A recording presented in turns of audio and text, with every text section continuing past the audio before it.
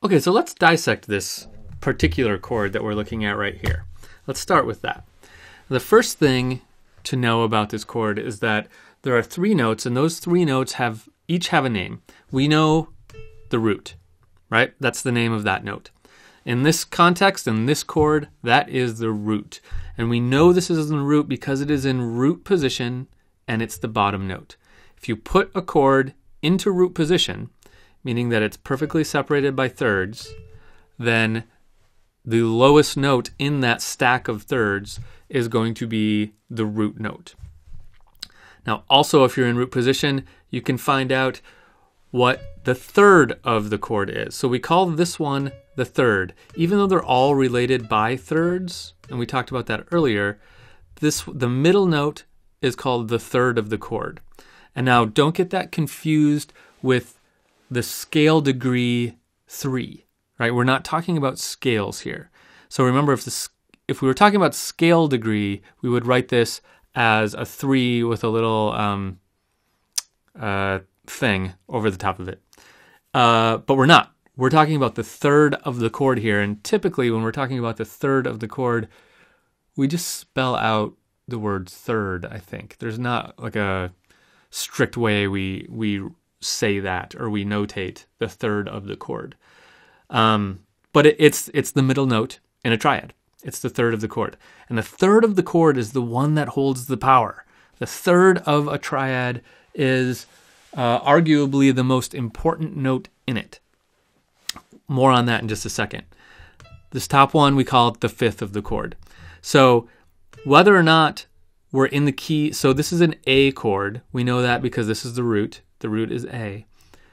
And whether or not we're in the key of A or some other key, when we talk about the chord, this note is called the third and this note is called the fifth of the chord. Okay? Um, now, let's talk about this third for a minute. It is the powerful one. Here's the deal when we look at a major chord and a minor chord of the with the same root, they are going to be different by exactly one note, right? Let me let me prove it. Um, this is an A major chord we're looking at now. Just trust me that it's a major chord for a second while I write another chord. Let's keep a rest in between.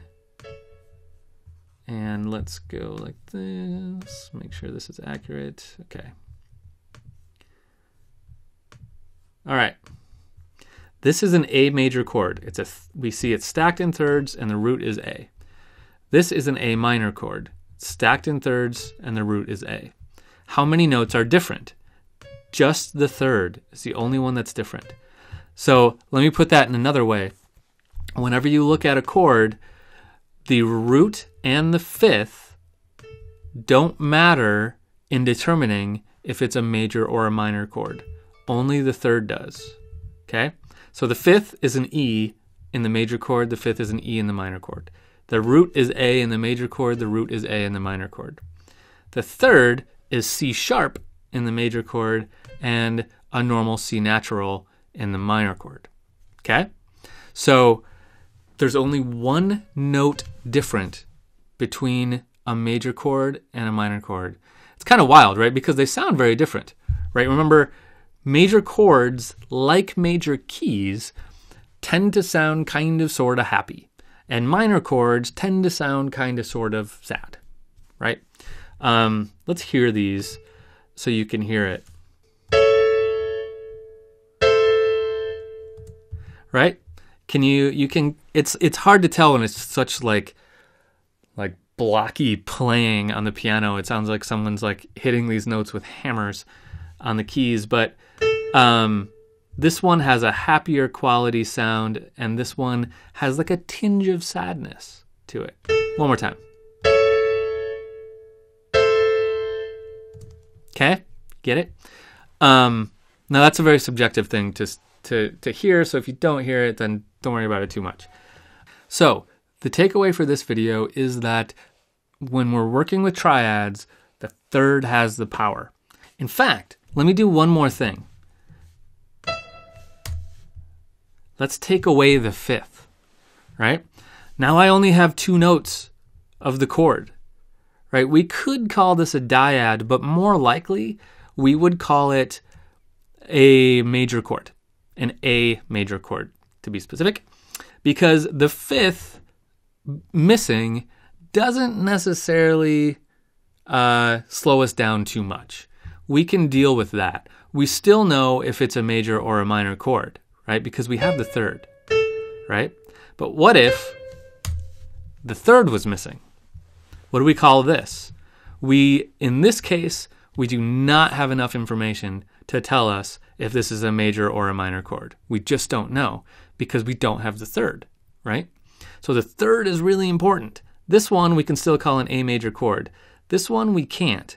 We might call this an A5 chord, meaning it's just an A and a fifth above it.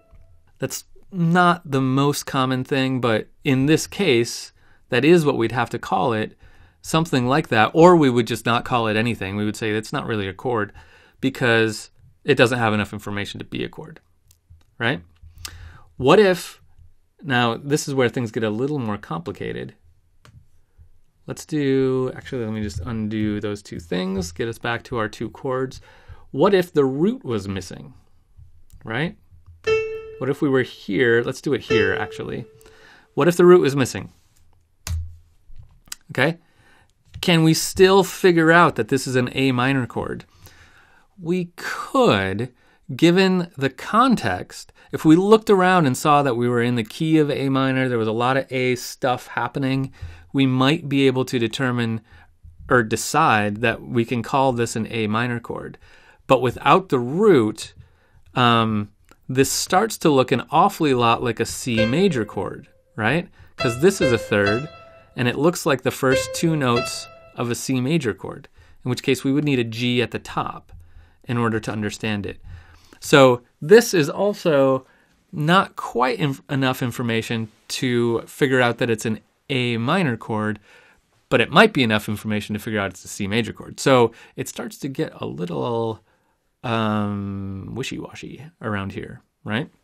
We'll encounter situations like that when we start doing some more analyses, but for now, um, let's just remember that the C or the third of the chord is the note that holds the power to determine if it is a major or a minor chord. If we take away the fifth, we can still deal with that chord. Uh, if we take away the third, we can't. And if we take away the root, the root, mm, things get a little more confusing. So keep that in mind. Now, let's go on and let's talk about how we can determine if these are major or minor. Because I, I haven't told you that yet. What I've told you is that we need to know what the third is to know if it's major or minor. But what is the third? Um, what is the difference between these two chords? And how do we know this one is major and this one is minor? Let's let's go over figuring that out in the next video.